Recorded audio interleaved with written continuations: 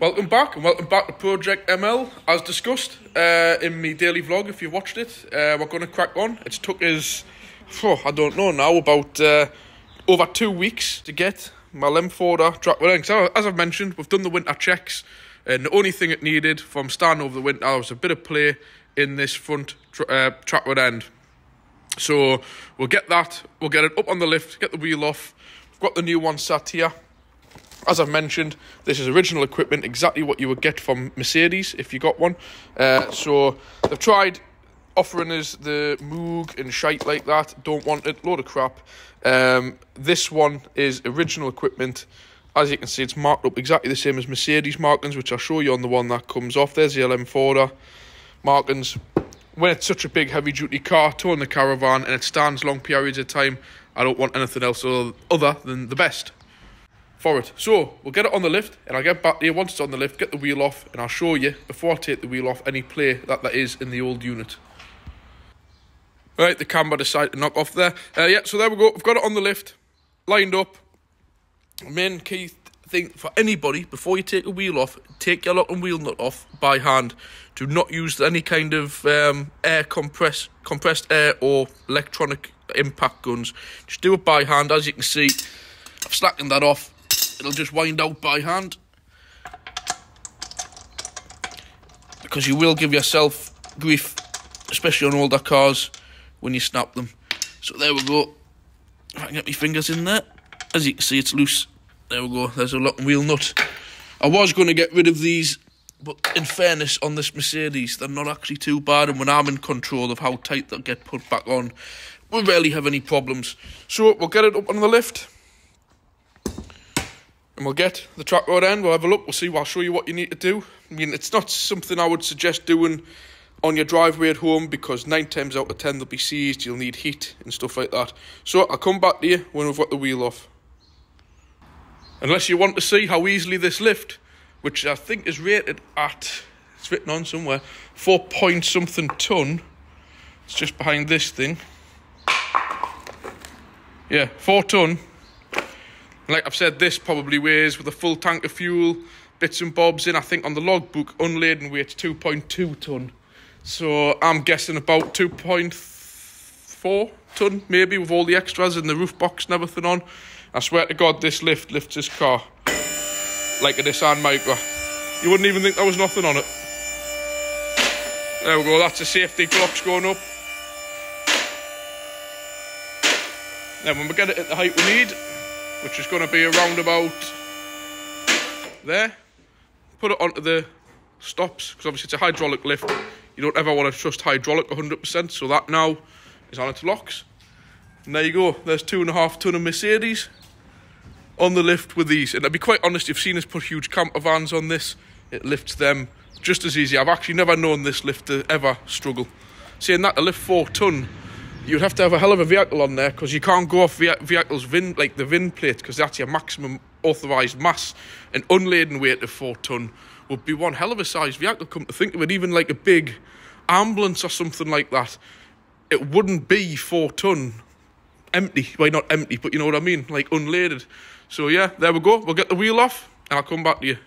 I just thought while I had somebody here, I'll show you why we're changing it. So if you work the play on the wheel, I don't know if you can see that. Just look, just there. See that popping up and down? That's it. That is why I just get myself from under the lift. That's why we're changing it. That's a lot of play in that ball joint. That ball joint comes off. This whole wheel comes off. Well, while looking at myself, that whole wheel comes off, and you don't want that wheel coming off because believe me, they are big wheels, tyres on this car. One of the 255 60 17s, when I used to park this thing next to my L200, it used to absolutely dwarf it. The wheels, the size of these brakes, I mean, the size of them, the size of your hand, the calipers. So we'll get this wheel off and I'll show you what we're doing. Right, so that's the wheel off. I swear to God, as you see, I work on cars, vans every day. You really forget how much of a beast this car is until you work on it. I'm not joking you, this wheel, I mean, it might look nothing from here, but let's just, let's just put it next to this Astra. I'm not joking you, this wheel must weigh the same as a flipping grown adult. Look at that difference. And that's not just looking, I can assure you, weight. I mean, the wheel on its flat, it, it can actually stand up more or less on its own. It's practically what half the height of the average car. and then when you look at the width of that to that, and then here's another one because sometimes you've got to work on comparisons, right? Now this is yeah quite a large. I think you'll agree if I put it next to, you know, like a normal car wheel, a hose reel system, right? That, when you look at the size of that brake, that, I swear to God, is the size. If, if I could stand back a bit, I, I kind of get it to zoom in.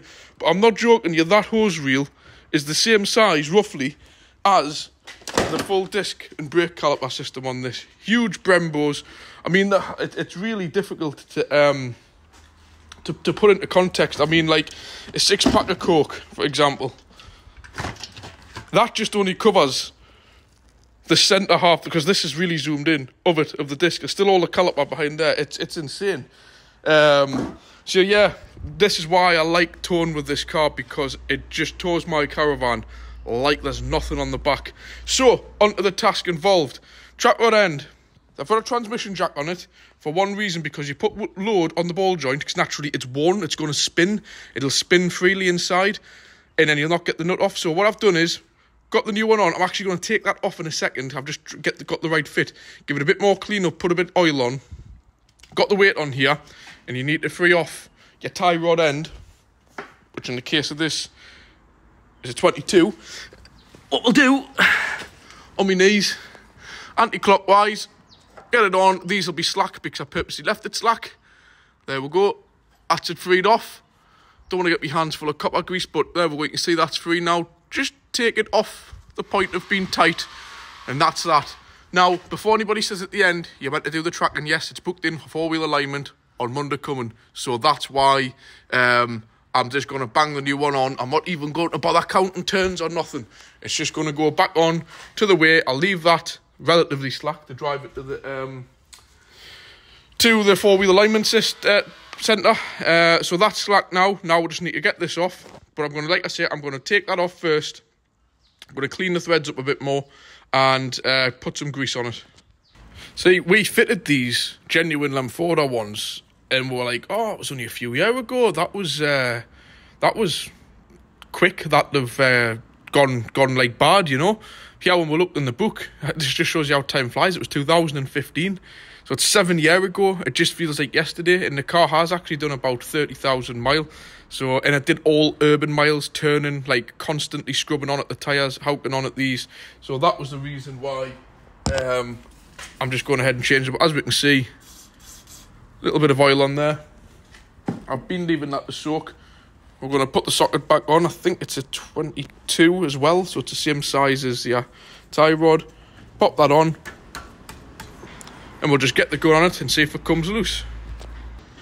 As you can see, I've got the high torque Milwaukee on there. Really difficult trying to do this one-handed, but we'll give it a go.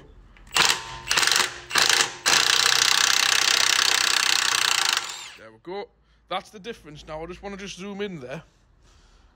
As I've mentioned, this has been on for years. Because we've worked on this, we greased this up beforehand. You will not get many cars which have done, how long did I say? Seven years and 30,000 mile, and that's come off like it's brand new. This is just proof I wanted to put on onto my channel about what we do and why we do it, especially on repeat customers, which this car was. Um, to do it. So obviously you put copper grease on the threads, and once you've put put the nutter bolt on, you coat it with Waxoyl, and that's exactly why this still looks as good as new. I'll just see if I can get it out on the floor. Like that there. If I actually clean that up with some paper, it's still pretty much. I mean, that's rust, believe it or not, off the inside of the um, of the socket. That is. But when you get a good look at that, there you see, it's still silver. So just it really annoys me when people just whap a bolt on or a nut on and they didn't put any kind of protection over it, especially if it's your own car. Just do it. And honestly, that this car has done loads and loads of standing around. This should be absolutely rusted to nothing. And this is the principle of doing the hole underneath of your car when that's actually new with this Waxoyl stuff. It really does work. So there you go. Now we'll see if that just pops out nicely. Now we obviously we've got this tie rod slack. We've got this off. Now you can take the weight off. And obviously you've got to just give it a little whack to the hub there with a hammer. We'll just use a copper one. Obviously I'm going to do this one-handed. I'm going to use my left hand when I'm right-handed because I need the right hand to hold the camera. I'll just see if I can switch it round. So there we go. I've had to give it a bit whack, but we'll give it a final one. I, honestly, I'm having to lose. I can't use my right hand and film. I'll give it a bit more whack. There. It, I have given it a couple of knocks. It's dropped down. And as you can see, due to putting grease, you, what you can use is a, a ball joint splitter. I've got one down here somewhere. I just used it the other day. Um, where was it? See, there it is there. You can use these things, ball joint splitters. But again, when I know that I've been working on a vehicle, I just know for a fact that it will be loose. So now, as you can see, that is spinning. Can you see there? So normally what I would do in this case would be count the amount off, but like I've mentioned, I'm just going to keep that still. So I'm just going to keep it still, and as you see, just wind it off. Keep going. What you should do is count these, and when you get them done, get your four-wheel alignment done. But like I've mentioned, it's going in, it's booked in on Monday. So this is just getting put on in any way, shape or form. But obviously, as long as you don't move, that one and you're using a like for like part, what I tend to find is you're not a million mile off. So if you turn your count your turns like that, like up to whatever 20, 15, and then put it back on at the same amount, I tend to find you do actually get the tracking. It will always need checked, but it's not sometimes far off. So we'll just get this wound off all together. As you can see, it's quite a long bar barn there.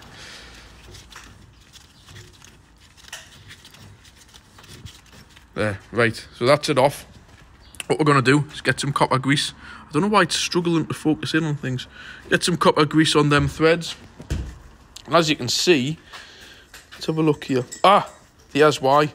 I know what happened with this car now. This was in 2015 or 16. It went in. I'll just show me dad this one because he's busy making a coffee. Got old friends again here. Why is it failed? What's that say on there? Moog. Mm. Now, you see, all of our companies are trying to get with use Moog, use Moog. And I was even thinking to myself, I was doubting, I was thinking this car should have done more than 30,000 mile and I think it's five, it'd be either seven, if it's 15, it's seven years, six or seven years. And I was thinking, ah, I should have lasted longer than that. And I was just beginning to doubt. Now I know what it was. This car went away to get some a lot of work done. I think it got rear coil springs, which are a nightmare on these. A uh, bit of welding done. Uh, I think some of these front arms and bottom ball joints, and obviously the place where we sent it to because we were that busy. They, the, the suppliers they used just couldn't get these uh, orders. So there you go. There's proof in the pudding. Moog. I don't use them. I don't like them. And everybody said oh, I've never had bother with them and stuff like that. But this is why I've never had much problems ever with the original equipment Lemforder ones. And I'm saying if you do have bother, you're talking it's 10, 15 year down the line. I mean, I suppose this ain't done bad if it's done 20, 30,000 20, 30,000 mile in six or seven years. But this car has had light use. Apart from the last year I've had it towing with a caravan, the lady just used to drive the dogs to the beach and back. And I know it's a lot of turning and scrubbing around, but this is why I don't use Moog. And I don't use any other brands apart from TRW, Lemforder, and all the proper decent equipment ones. So, what we're going to do is now clean this threaded bar up, the tie rod, get plenty of grease on there, get the new one, get a little bit of grease, which I'll show you. I've got, I've got the new uh, fittings to go on. I like the way how they nicely come protected. I'm going to leave that on there till it's actually in place, and we'll get a bit of grease on the face of that. I may as well just show you the old one, what I'm talking about. Bit of grease on here, so that it needs to come apart if ever need to do any work again. I'll come back to you when I've done that. So there we go. It's nicely greased up. Just screw the new one on. Like I said, you should really be counting these, but it's going in for four-wheel alignment, so I'm just simply taking it up to the top of the tie rod, like so. And what these do, they kind of go over and in, like if you look like they're tapered.